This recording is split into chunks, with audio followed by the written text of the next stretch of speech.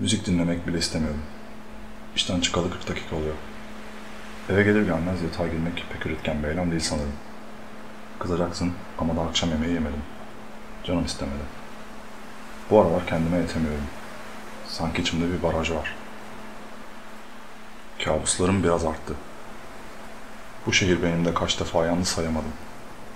Bilmiyorum ne sorunu ne de çözümü. Bu hayatta kutlu şeyler olmalı gibi hissediyorum. Ama neredeler bir fikrim yok. Hafta sonları işten arkadaşlarla içiyoruz. Gündemden konuşuyoruz. Herkes birbirinden ürküyor. Herkes bir noktada kendiyle alakalı bir şey söylese de kimse samimi değil. Bu ben özelim kültüründen kopamıyoruz. Kimse canını yakan şeylerden ya da yaşadığı ilginç bir deneyimden bahsedemiyor. Sanki ruhlarımıza dokunamıyoruz. Mezun olalı iki yıl oluyor. Hala otoparka bakan yer altındaki dairedeyim. Bir iki yıl zam alıp daha iyi bir eve taşınırım büyük ihtimalle.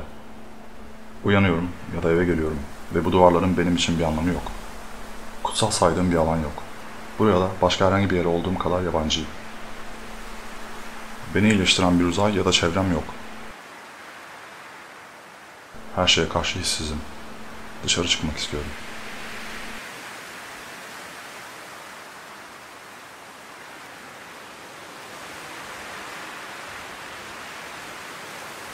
Dışarı çıkıyorum. Ayaklarım beni her zamanki parka götürüyor.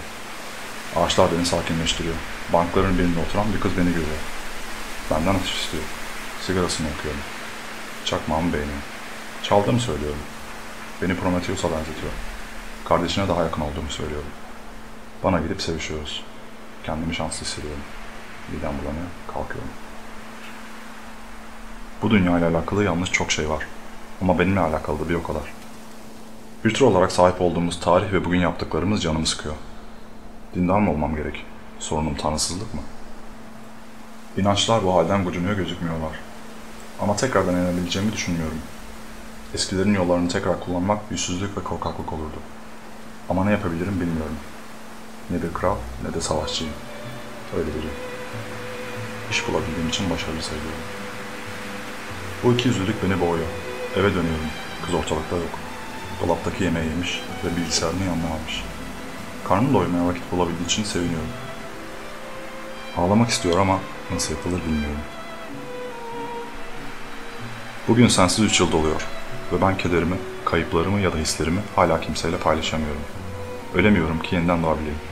Bu insanlar iyileşmek, yükselmek ve bu hayatı daha kutlu kılmak istemiyorlar. Sadece var olabilmek istiyorlar. Susarak onlara izin veriyorum.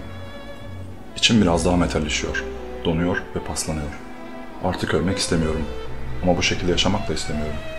Bu susuzluk, bu çöl tüm ömrüm boyunca sürecek mi? Bu mektubu mezarına gömeceğim. Yüreğimdeki kabuğun bir gün kırılacağı ümidiyle. Geniş yapraklı bitkilerin bizi saracağı ve utancımızın bizi yağmur gibi temizleyeceği günün ümidiyle.